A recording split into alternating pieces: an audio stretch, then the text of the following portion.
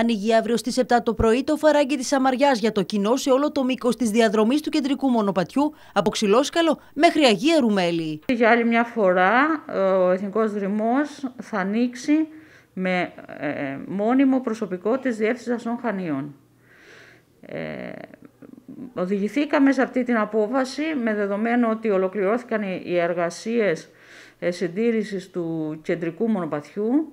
Το ενδιαφέρον ε, είναι αρκετά μεγάλο από τουριστικά γραφεία, από φορείς, από ενδιαφερόμενους που θέλουν να περάσουν το φαράγι της Σαμαριάς. Παράλληλα, λόγω κορονοϊού, οι επισκέπτες πρέπει να τηρούν τα προβλεπόμενα μέτρα προστασίας, τα οποία είναι τήρηση των αποστάσεων σε όλο το μήκος του μονοπατιού, αποφυγή συνοστισμού στις εισόδους και στα εκδοτήρια εισιτηρίων, υποχρεωτική χρήση μάσκας σε όλους τους χώρους, χρήση από τους επισκέπτες ατομικών συσκευασιών αντισηπτικών διαλυμάτων και ασφαλής χρήση αυτών για την αποφυγή κινδύνου πυρκαγιάς. Κατανοούμε ότι αυτό είναι μια ταλαιπωρία για τους πολίτες.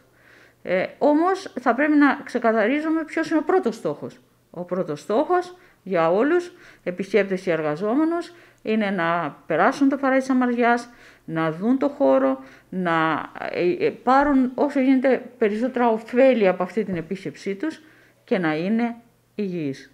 Δηλαδή, να μην δημιουργεί πρόβλημα σε σχέση ε, με πιθανή μετάδοση του ιού από αυτή τους την επίσκεψη. Τέλος, σύμφωνα με την προϊσταμένη της Διεύθυνσης Δασών Χανίων, Πολυμνία Σκλαβάκη, αν οι καιρικές συνθήκες μεταβληθούν σε βαθμό που να δημιουργούνται προβλήματα στην ομαλή διέλευση των επισκεπτών, η Διεύθυνση Δασών Χανίων θα προτείνει τη ρύθμιση της διέλευσης ή και την απαγόρευση της εισόδου των επισκεπτών στον εθνικό δρυμό. Και ήδη έχουμε επαναφέρει πιο επικαιροποιημένο το γενικότερο έτοιμά μας, όταν να εγκατασταθεί ένα δίκτυο μετεωρολογικών και κλιματικών θα έλεγα σταθμών ή ένας πληρέστερος κλιματικός σταθμός, ώστε να μπορούμε να έχουμε εκεί για αυτόν τον χώρο ευρύτερα δεδομένα ε, και πληρέστερα, αλλά και πιο ασφαλή για να μπορούμε να ξέρουμε εμείς, για να ξέρουν και οι πολίτες πότε ο καιρός θα μεταβληθεί και προς ποια κατεύθυνση.